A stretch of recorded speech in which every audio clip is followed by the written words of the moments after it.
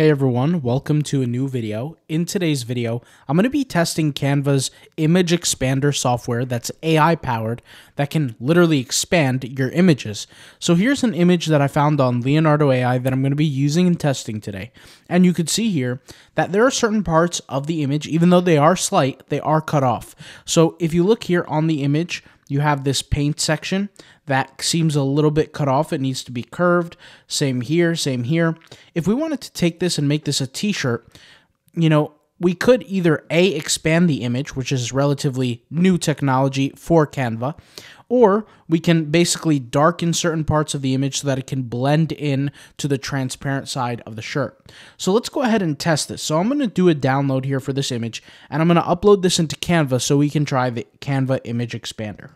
So you could see here within Canva, we have the Magic Expand tool. I'll just go ahead and click on this, and then I'll click Try Magic Expand and now it will give me like kind of a like a preview of what image I can use.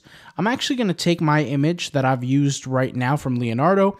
I'm going to upload it in. I'm going to delete this current image and I'm going to use the image that we see right here.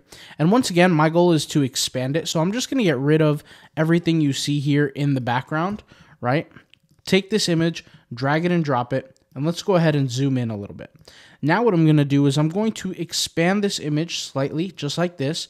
And let's just say these are the bounds that I want the image to fit in, just like this. So I'm going to go ahead and click Edit Photo. And then I'm going to click on the, basically the um, Magic Expand button right here. And then I'm going to expand in freeform. So I'm going to take this and I'm just going to drag it to the left. And I'm going to drag this to the right, just like this.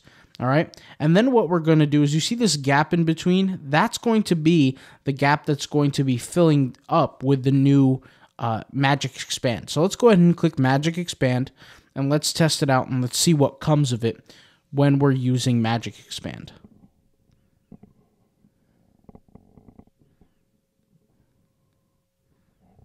Okay, there we go.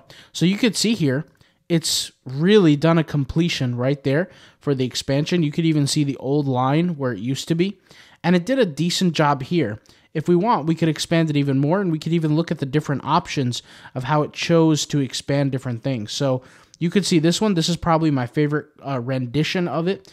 I'll hit done here, and it's fully expanded the image the way I needed it to be, and it looks just genuinely better. So this is pretty cool.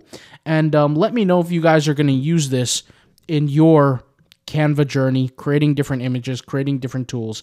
I know there's a lot of different images that get cut off within the AI for um, uh, Leonardo, Midjourney, whatever the case may be. So if you want to expand it and get that little benefit out of it, this can definitely help. And I think it does a great job overall. All right, guys, so I know this was a short video. Thank you guys for watching. I appreciate it. If you want to see more Canva videos like this, click in the link in the description, and we'll have a selection of different videos that you can click that are related to Canva's different AI tools. All right, I'll see you soon. Peace out. Bye.